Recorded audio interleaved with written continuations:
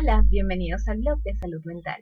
El día de hoy quiero hablar con ustedes acerca de lo que son los síntomas psiquiátricos.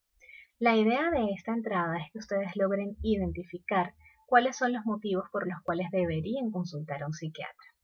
En primer lugar, quiero hablarles del sueño. En cuanto al sueño, podemos tener lo que se denomina insomnio. El insomnio puede ser tanto la incapacidad para quedarse dormido como para mantenerse dormido o para despertar a la hora que tienes programado hacerlo.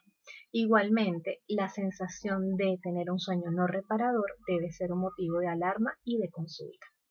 Por otra parte, están los trastornos del estado de ánimo, la tristeza persistente, la irritabilidad u hostilidad, los cambios marcados en el estado de ánimo que no responden a sucesos externos. Por otra parte, tenemos los trastornos de pensamiento. Eh, en cuanto al pensamiento puede haber variaciones en cuanto a velocidad, cuando observamos que la persona está enlentecida en cuanto al pensar o, por el contrario, muy acelerada, y lo que es el contenido del pensamiento, cuando comienza a haber desorganización en los conceptos, ideas extrañas, por ejemplo, lo que nosotros solemos llamar ideas delirantes, que son ideas que tiene la persona y cree que son verdaderas y sin embargo no lo son. Pero a pesar de que uno confronte a la persona, le indique que esto es una equivocación, que esto que está narrando no existe, la persona simplemente es incapaz de verlo. Otro motivo de consulta importante y que es bien conocido por toda la sociedad es la parte alucinatoria. Las alucinaciones pueden ser visuales, pueden ser auditivas, táctiles e incluso puede haber combinación. Puede haber alucinaciones por cada uno de los sentidos. Esto es la percepción de algo que realmente no está sucediendo. Por ejemplo, una alucinación visual puede ser el hecho de que la persona comienza a observar sombras. Una forma bastante sencilla de saber si es o no es una alucinación es simplemente preguntarle a sus familiares o a sus acompañantes si ellos observan lo mismo. Y definitivamente siendo una alucinación solamente la persona la puede. Existen otros motivos de consulta que son los relacionados a el deterioro cognitivo.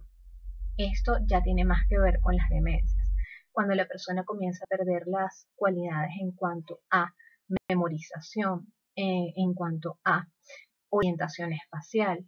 Estas personas que comienzan a tener episodios en los cuales desconocen dónde se encuentran y se pueden perder en la calle. Estas personas que olvidan dónde dejaron las llaves, dónde colocaron algún dinero importante o documentos y esto se convierte en algo que es una costumbre. Esto debe ser bien revisado.